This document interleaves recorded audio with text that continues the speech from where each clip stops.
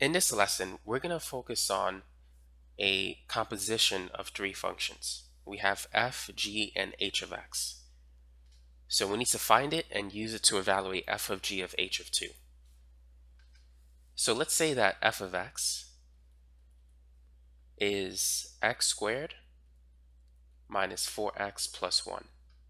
And we're going to say that g of x is the square root of x minus 2 and that h of x is 5x plus 6. So go ahead and find f of g of h of x.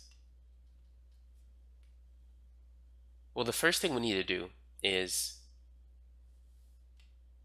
take h and plug it into g. And then that result, we're going to take that, plug it into f. So I'm going to start by finding g of h of x. So g of h of x,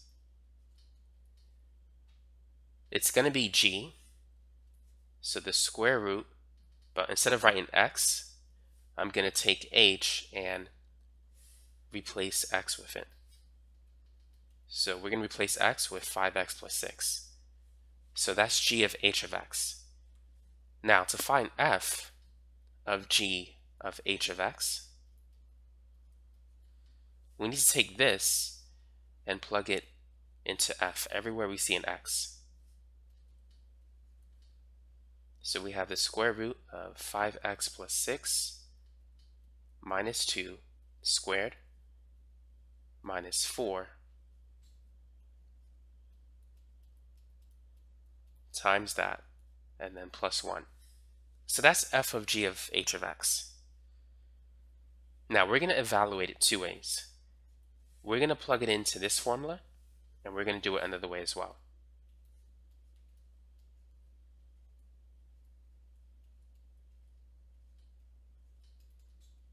So everywhere we see an x, we're going to put a 2 there.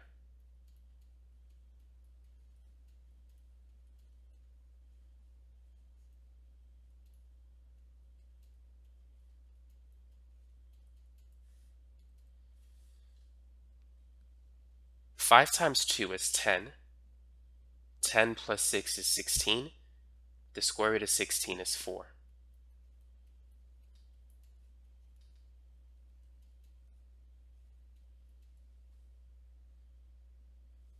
Now, 4 minus 2 is 2, and so we get this. 2 squared is 4, 4 minus 2 is 8, and I mean 4 times 2 is 8. Now 4 minus 8 is negative 4 plus 1. This gives us negative 3. So that's the answer, but let's get that same answer another way. What we can do is work from the inside and then toward the outside. So let's calculate h of 2. It's 5 times 2 plus 6. 5 times 2 is 10, 10 plus 6 is 16. Now, g of h of 2, h of 2 is 16, so this is g of 16. We can plug that into g, so that's going to be the square root of 16 minus 2.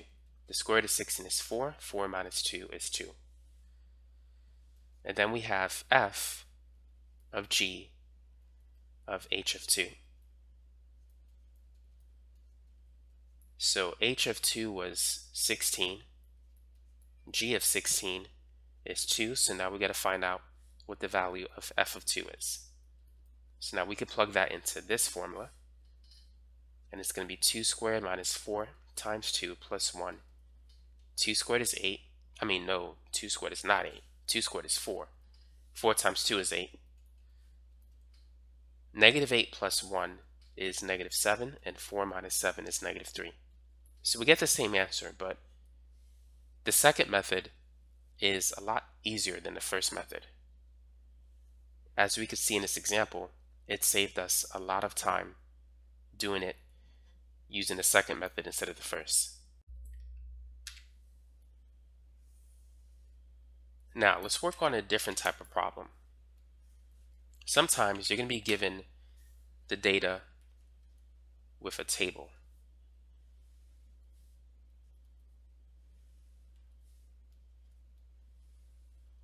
So we're going to have another example with three functions.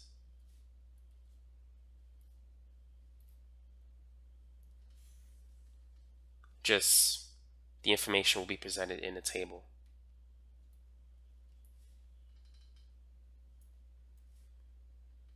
So go ahead and work on the same problem. That is this part. With this table, find f of g of h of 2.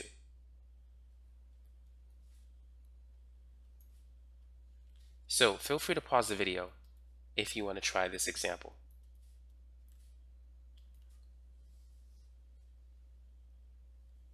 Just like before, we're going to work from the inside and then work outward.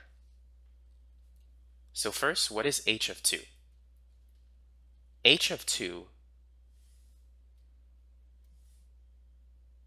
so here's 2, here's h, they intersect at 4.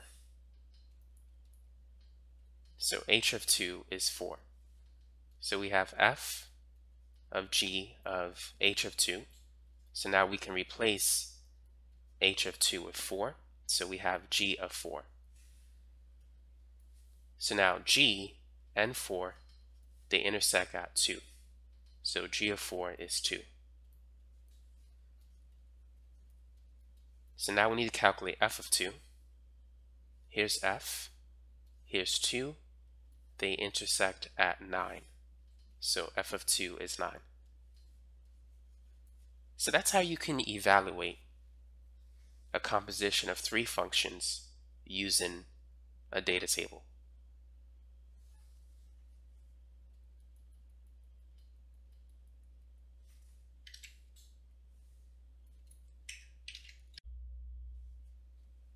Try this one. H of f of g of 2. Go ahead and evaluate that expression. So let's start with g of 2. Here we have g, here's 2. They intersect at 1. So g of 2 is equal to 1. Next, we need to evaluate h, I mean f of 1. So here's f, here's 1. They both intersect at 4. So f of 1 is 4. And now we need to evaluate h of 4. Here's h, here's 4. And they lead us to 1. So the final answer is 1 for that example. So that's it for this video. Now you know how to evaluate a composition of three functions, uh, whether if you're given all three functions or if you're given a data table.